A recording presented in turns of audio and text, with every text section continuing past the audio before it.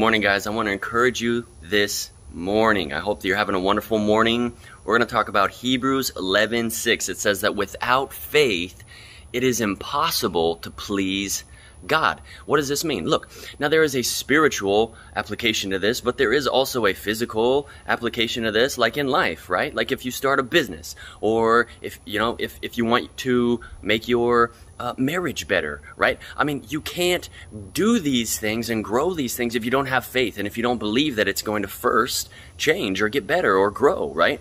And so that's where that's the point where we uh, allow God to come into our lives. Maybe it's our marriage, maybe it's our business, maybe it's our home, maybe it's our relationship with our children, maybe it's our relationship with our parents, whatever it is. But the faith and Him being able to come in and renew it and restore it and redeem it and bring it back to life is the avenue in which He moves through our lives, th- through the physical things in our lives. Now, there is also a spiritual aspect to this, to where without faith, we cannot come to be saved. We have to receive the gift of, uh, of grace by faith, and then we will be saved and receive the Holy Spirit. But that's only by faith. Now, listen, this faith that it says that is impossible to please God if we don't live by it means that God wants us to put Him first in our life.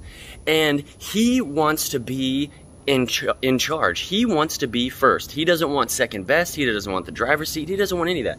He wants to be in in first place in your life in every single aspect of it. And he wants to be in everything of your life. He wants to be in your finances your relationships.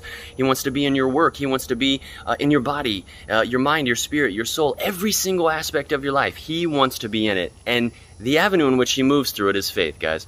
So look without faith it's impossible to please god. God wants us to live lives full of faith full of belief full of trust because he is a loving Father who knows our needs and He provides our needs. He promises to provide our every need, every need, every single one.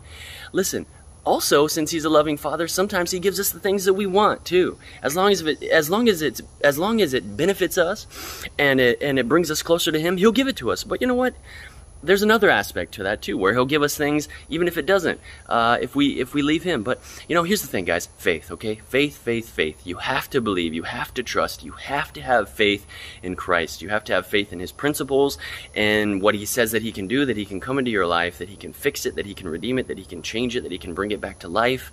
Whether it's your health, maybe your mind, maybe your relationship, your work, it doesn't matter. Maybe it's a friend that you've been working on who doesn't know Christ and I've got many of them. Many, many, many of them. I pray for them every single day.